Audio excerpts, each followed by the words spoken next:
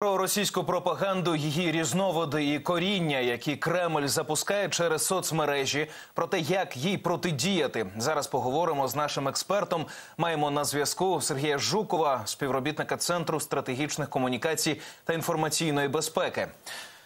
Пане Сергію, я вас вітаю в ефірі. Добрий день. Росіяни розхитують психічний стан українців. От не тільки атаками з повітря е, навесні активно загострилася інформаційна війна в соцмережах. Проти України працюють не лише знаєте, боти, які там були і раніше, які всякі всілякі коментарі пишуть, вже створюють цілі сторінки, спільноти. От як вони працюють і на кого в першу чергу спрямовані, з якою метою вони робляться? Ну, е, сторінки вони створюються не починаючи з весни. Просто е, навесні ми зафіксували, скажімо так, е, збільшення обсягів цього контенту в соціальних мережах, зокрема у Фейсбуці. Створюються сторінки для розміщення рекламних повідомлень для дезінформації та деморалізації українців, як військових, які боронять нашу державу на фронті, так і цивільних. Е, які е, відповідно е, дуже особисто переживають те, що відбувається в нашій країні.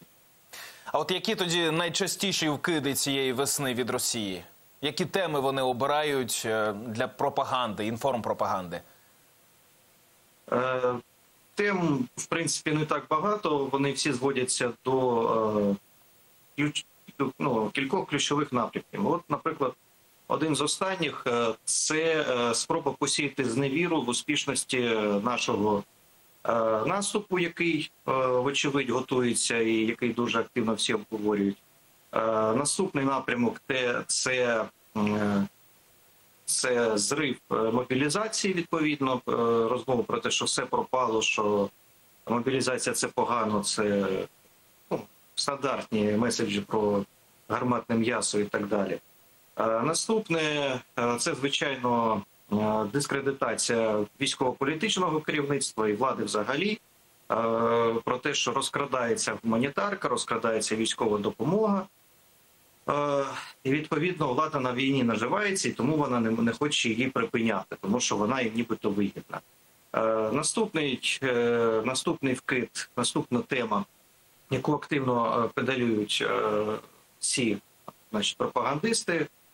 Е, це е, зараз перепрошую. Е, це те, що Захід від України відвернувся, Захід від України втомився, і відповідно допомоги від Заходу більше не буде. Це ключові, так би мовити, магістральні теми, які спрямовані на зневіру. Плюс були ще зафіксовані додаткові такі вкиди, але вони не набули широкого розповсюдження. Це з приводу того, що Значить, е, індексація пенсії вона є профанацією. Був е, в квітні місяці такий зафіксовано вкид.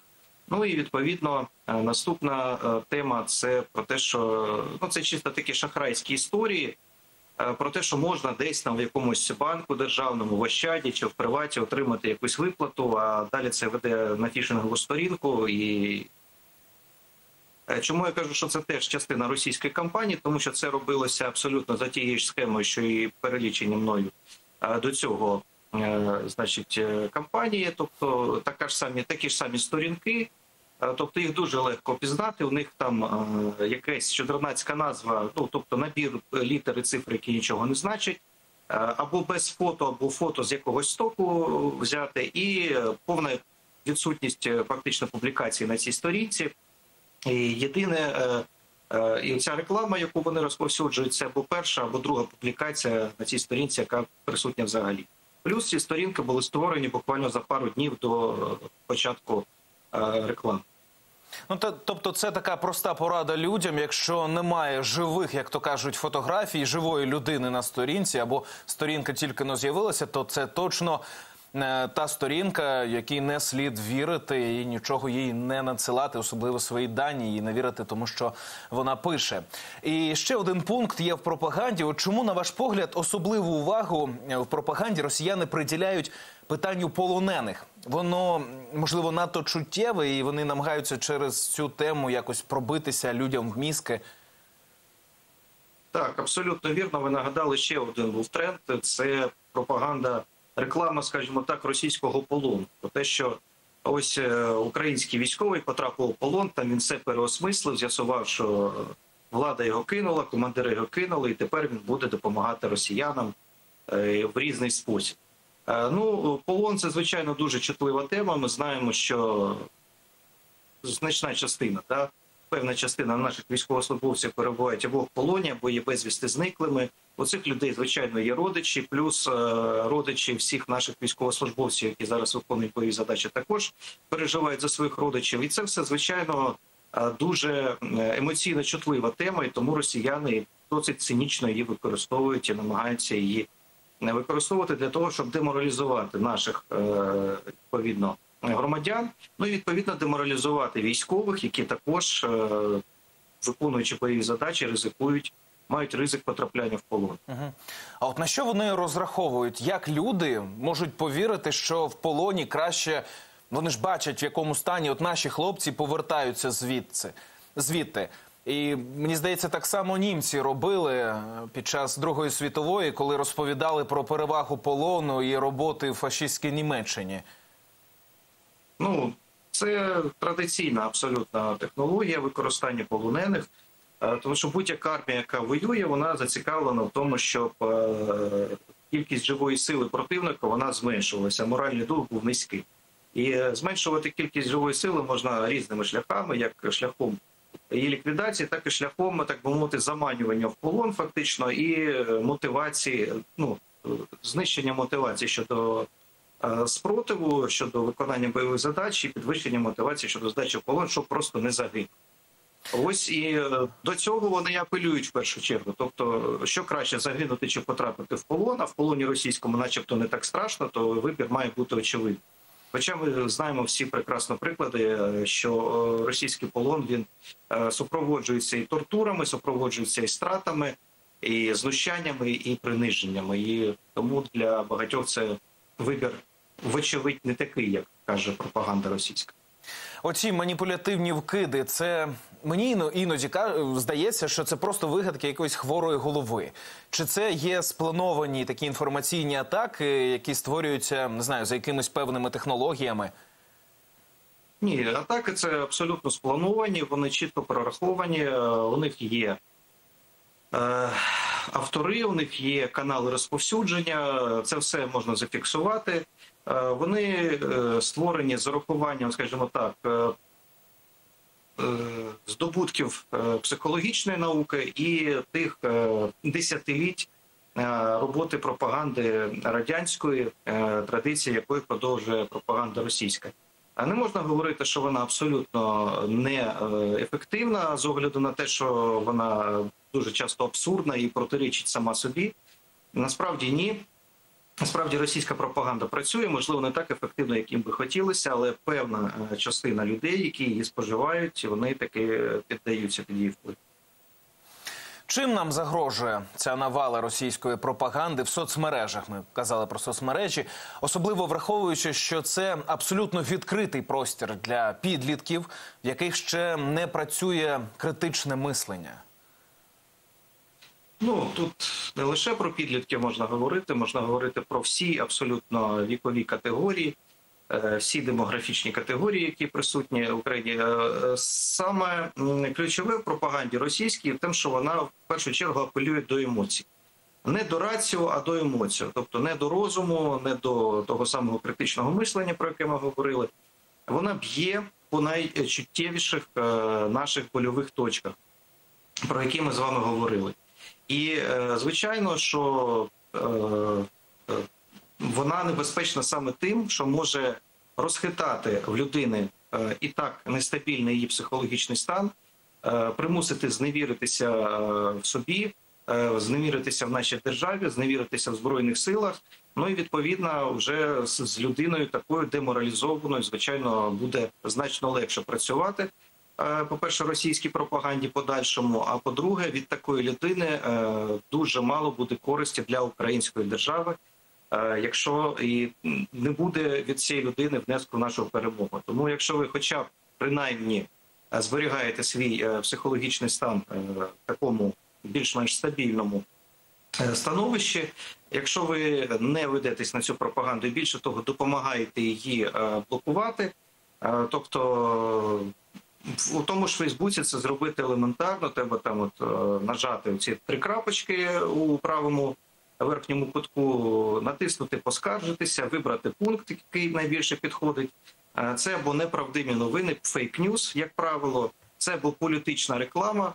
Е, Тому що якщо згадується там, наприклад, там президент, депутати, уряд і так далі, це може бути сприйматися як політична реклама. А згідно з правилами Фейсбуку, у такої реклами має бути чітко е, вказаний е, спонсор цієї реклами, а от там ще в цих повідомленнях цього немає. Е, Тоді Фейсбук буде це все блокувати.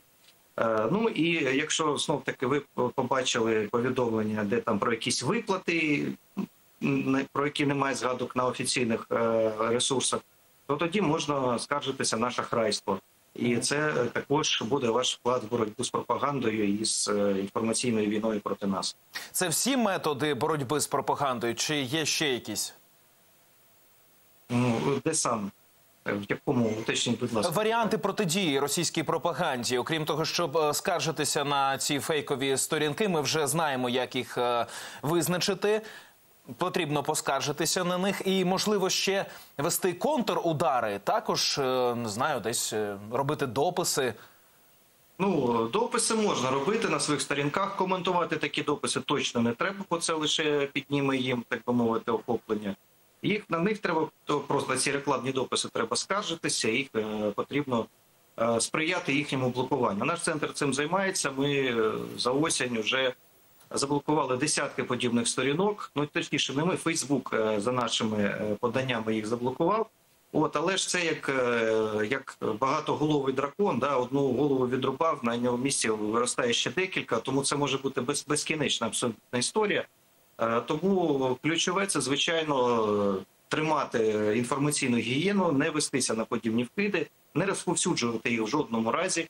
І якщо ви бачите, що ваші друзі чи знайомі піддаються цьому впливу, там репостять щось і так далі, то треба з ними проводити звичайно роз'яснювальну роботу, переконувати і е, підтримувати їх е, в позитивному, так би мовити, ключі.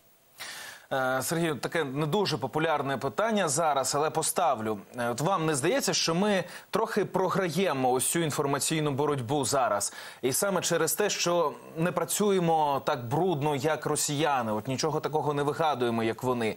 Е, Просто чому от досі багато людей, які не мають доступу зараз до російських видань, дивляться, читають українські змі, але все одно чомусь вважають росіян е, братським народом, як то кажуть.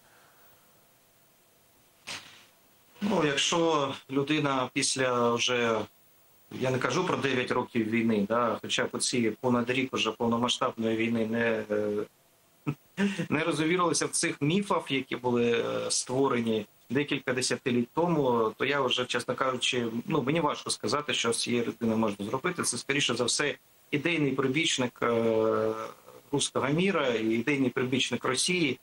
Ну і фактично е, чекати від нього якоїсь лояльності до України буде важко. е, Насправді. От ну а говорити про програш чи не програш інформаційній війни. Ну я б я б не сказав, що ми її програємо, тому що і в принципі у нас доволі високий рівень резилентності до російської пропаганди в суспільстві зараз зберігається. Доволі високий рівень згуртованості. Е, Особливо це було зафіксовано в перші місяці повномасштабного вторгнення. Е, Доволі високий рівень е, готовності протистояти російській агресії. Е, Тому можна сказати, що російська пропаганда не виконала своїх задач на 100%, але тим не менш е, нам все таки життя псує. Так, ну і багато роботи в нас е, є, буде на територіях, які зараз тимчасово окуповані. От сьогодні я їхав на ефір, е, розмовляв з водієм е, таксі, і він розповідав, як обробляють людей в Мелитополі. Та мама в нього живе, і каже: мама йому каже: може, не треба синку нас звільняти, бо ви ж нас уб'єте. Мовляв, ми ж російською розмовляємо. Там в Росії показують не лише кремлівських пропагандистів, а й деяких наших осіб. Не буду називати зараз прізвищ, е, але тих, які дуже негативно налаштовані от зараз до російськомовних людей. В принципі, ключове це підтримувати контакт, якщо у вас є е, родичі, знайомі, друзі на окупованих територіях, які опинилися там, які з різних причин не можуть їх залишити. е, То звичайно треба підтримувати з ними контакт, щоб вони не відчували себе на самоті.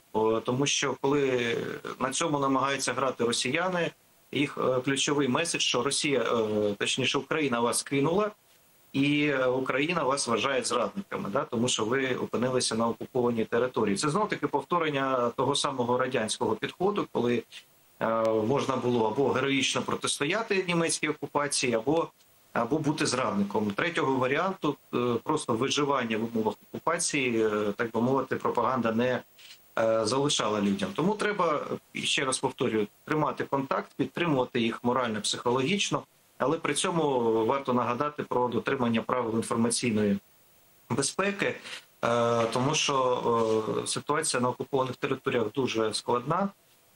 Е, І е, зламують гаджети, і перевіряють на вулицях патрулі е, переписку людей, що вони там ведуть. Тому все те, що може вас компрометувати, там по, значить, якісь симпатії до України підтвердити, то краще цього на своїх гаджетах, звичайно ж, не тримати. От тому ось така такі поради. Головне це підтримка, підтримка людей, і щоб вони відчували зв'язок з Україною, відчували, е, що Україна е, про них не забула. А Україна це всі ми. Так, абсолютно потрібно дивитися правдиві. е, Правдиві джерела і аналізувати інформацію, а не просто як робиться в Росії, включити лише Росію один і просто повторювати за тим, що кажуть пропагандисти. Інформаційна безпека має бути на першому місці, тому що це такий же важливий фронт в боротьбі проти російських загарбників. Сергій, я вам дуже дякую за те, що долучилися до нашого ефіру. Сергій Жуков, співробітник центру стратегічних комунікацій та інформаційної безпеки, був з нами на зв'язку. А марафон триває.